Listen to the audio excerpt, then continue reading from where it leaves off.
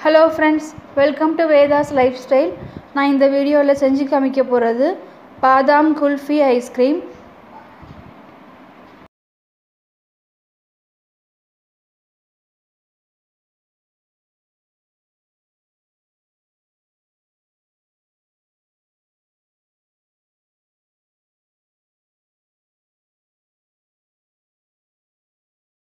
நம்ம சேனலை புதுசாக பார்க்குறீங்கன்னா சப்ஸ்கிரைப் பண்ணிக்கோங்க.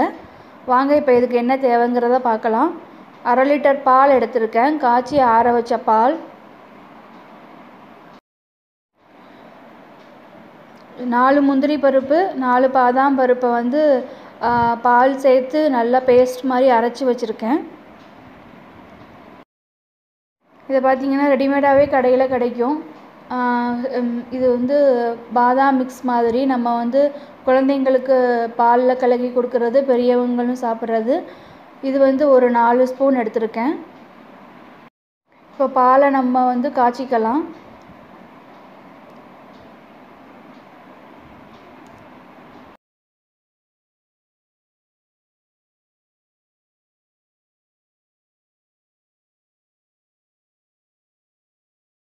பால் நல்லா பொங்கி வந்ததுக்கப்புறம் நம்ம வந்து கேஸ் ஸ்டவ்வை வந்து சிம்மில் வச்சுக்கணும்.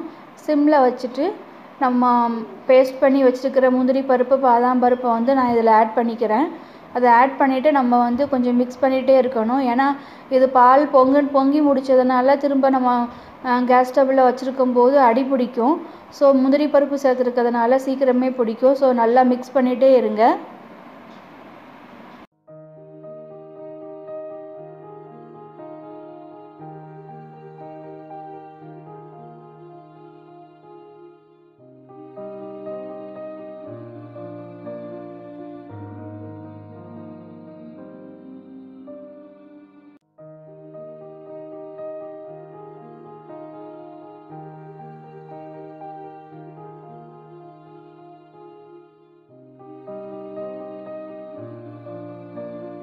இப்போ பார்த்தீங்கன்னா பத்து நிமிஷம் கழித்து பொங்கி பத்து நிமிஷம் கழித்து இந்த அளவுக்கு கட்டியாக இருக்குது இப்போ வந்து நம்ம எடுத்து வச்சுருக்கிற அந்த பாதாம் பவுடர் மிக்ஸை வந்து சேர்த்துக்கலாம்.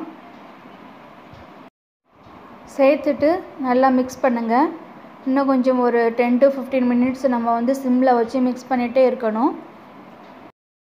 இது ரொம்ப ஈஸியாக செய்யக்கூடியது. வீட்டில் இருக்கிற பொருட்களை வச்சே பண்ணியிருக்கிறது. பாதாம் பவுடர் மிக்ஸு அப்புறம் வந்து பால் முந்திரி பருப்பு பாதாம் பருப்பு. இதுக்கு மேலே உங்களுக்கு வந்து இன்னும் கொஞ்சம் ஏதாவது சேர்க்கணும் அப்படின்னா நீங்கள் வந்து குங்குமப்பூ சேர்த்துக்கலாம். கண்டென்ஸ்டு மில்க் கூட ஒரு சின்ன ஒரு ஸ்பூன் சேர்த்துக்கலாம். இப்போ இந்த ஸ்டேஜில் வந்து நான் இறக்கிட்டு இப்போ இதை என்ன பண்ணணும்னா நான் வந்து வீட்டில் இருக்கிற கிளாஸ் தான் யூஸ் பண்ணியிருக்கேன்.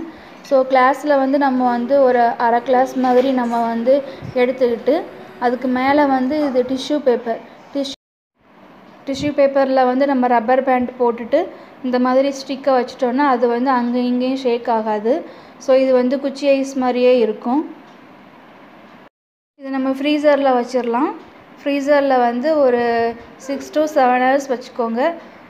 அதுக்கு முன்னாடியே உங்களுக்கு வருது நல்லா வந்திருக்கான்னு நீங்கள் எடுத்து பார்த்துக்கலாம்.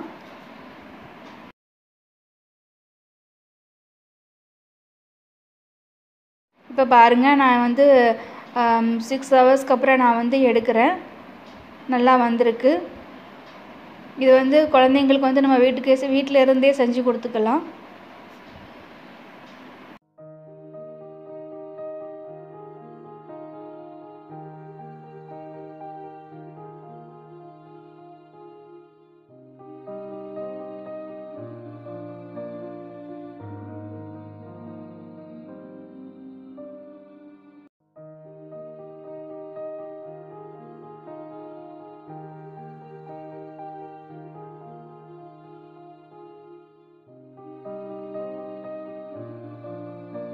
நீங்கள் ட்ரை பண்ணி பாருங்கள் உங்களுக்கும் கண்டிப்பாக பிடிக்கும்.